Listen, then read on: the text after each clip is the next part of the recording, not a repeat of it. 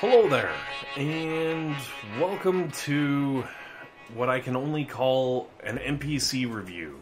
I've released a bunch of videos, basically uh, how-tos, tutorials, whatever you want to call them, on how to defeat various NPC bases. And I found myself with a whole bunch of them sitting on the map, and I figured, you know what? I'm going to slap these all together. I'm to make a nice little review video, show that, you know, even without boosting, because I think for some of them I was boosted, I these strategies make these NPC bases wicked, wicked easy. So you can you can see Ratchet here. I'm going through. I'm doing pretty much the exact same stuff that I did on the other one. Obviously, because every attack is slightly different. This one kind of you know it may vary, but the the bones of the attack are still the same. So we're cruising through this. The the tanks are high enough of a level I don't have to worry about anything. I currently do have loot boost on, but that's just because I just finished Doctor T, and uh, you know I wanted to make use of those statues, but I'm not actually boosting health, damage, GB, no, no, nothing like that. So this is oh natural attacking, I guess. Hmm. Um, so basically, that's Ratchet going down. I'm gonna use the magical transfers to flip over here to cut above, and can do the same old thing on cut above. That oh crap, I missed a mine there apparently. Anyways, uh, the usual, just just showing that these are still feasible and they are actually fun to use. That aside, I'm hoping in the near future to get some more Dr. T related videos out there. I think I have formed a strategy for getting them out in a timely fashion so that they, you know, are actually useful to people. Um, uh, hopefully it'll work out and it'll it'll help some people.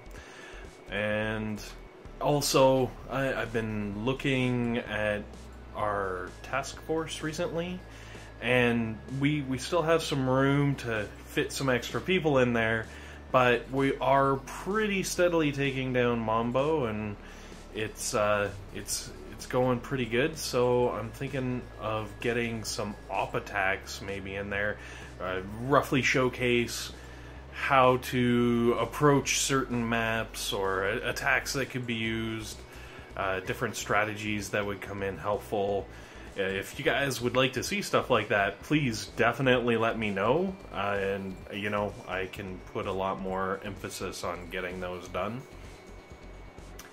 Um, aside from that, it's pretty smooth sailing. We're we're already on to ascetic here, and you know, I, I probably could have beaten this base without even landing my tanks because, as you can see, I, I dropped those critters just to kind of speed things up, and none of the cannons even turned to them. Like I, I literally could have just doused the the HQ with critters and sat back and let them do their thing, but that would, I guess, be counterintuitive to what I'm trying to show you with the the video here of just proof of concept. I, I don't know.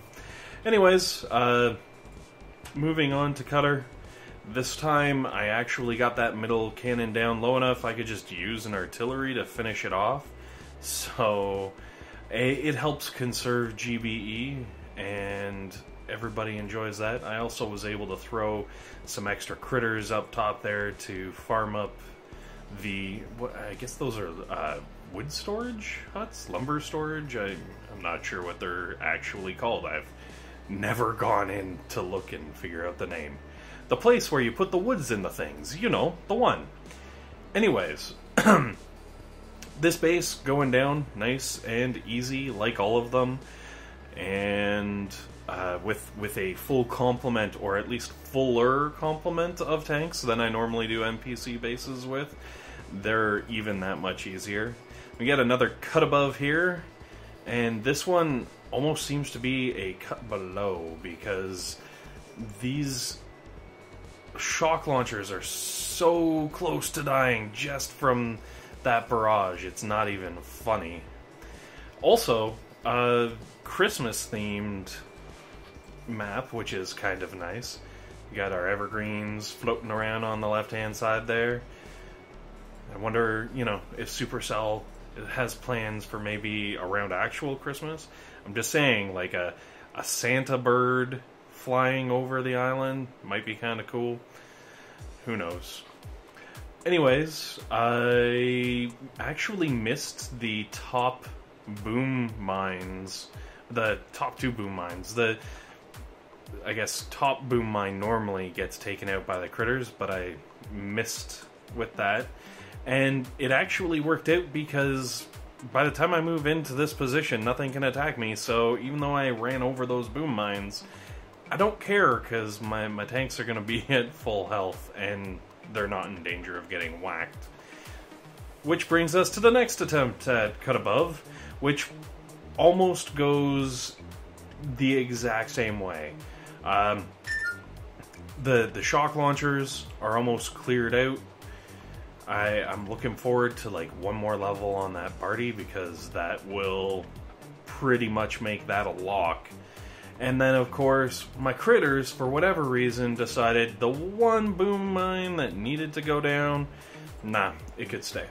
So uh, we're we're in a similar situation to the last run through, but this time I, I changed it up a little bit and actually tried to avoid the boom cannon or sorry the boom mines, and as you can see, it it's not that difficult, and it leaves my medics something to do because they were looking pretty bored, and ultimately fails as I run over every possible mine. Anyways, um, the, it looks like hopefully in the, the coming days I'll have a little more time. I'll be able to get the Dr. T out there, and hopefully we will be able to clear the map a couple times also. Anyways, uh, good luck, guys. Thanks for watching, and we'll see you next time around.